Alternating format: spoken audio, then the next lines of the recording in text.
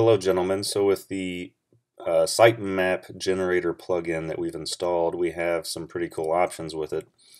Um, probably going to need to take an entire course to figure it all out but uh, for our purposes of adding the title and description, the most important being the description but we might as well do the titles as well while we're in there. Uh, just go to components and the JSitemap Pro And down here at the bottom, if you want to be able to edit the French pages uh, or English pages, just choose down here which pages you're looking to edit because uh, for some reason it won't just generate a list of all the French and English at the same time. So I'll just switch to English for now, just as an example, and go to the um, search engines meta info right here and then you can select up here to show all of the pages. And even if if you're on or all of the listings. So if you're on five for example and you're trying to do a search for a particular English page it won't search all of these pages. It'll only search uh, these five. So that's one of the limitations. So just make sure uh, if you're trying to search for a particular page that you select all so it shows them all and then you can search through all of them um, with just this search bar if you need to do that.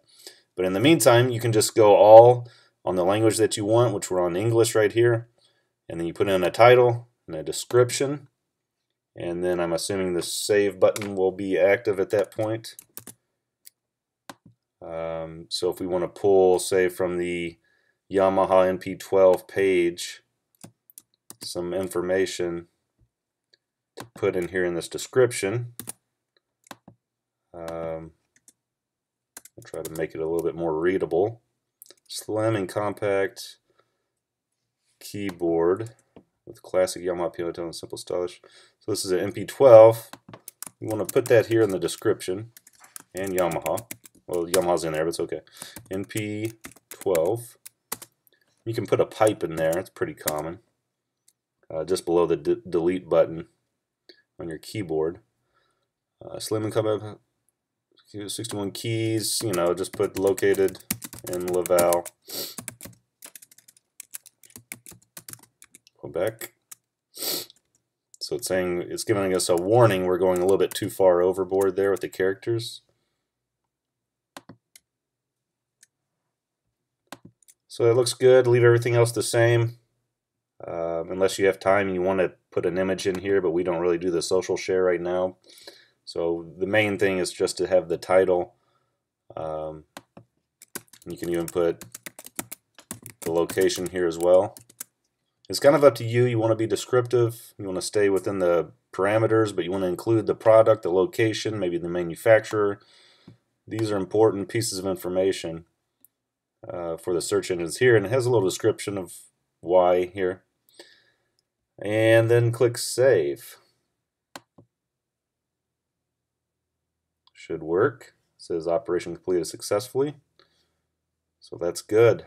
Um, I could probably test it by going to the Yamaha page, refreshing,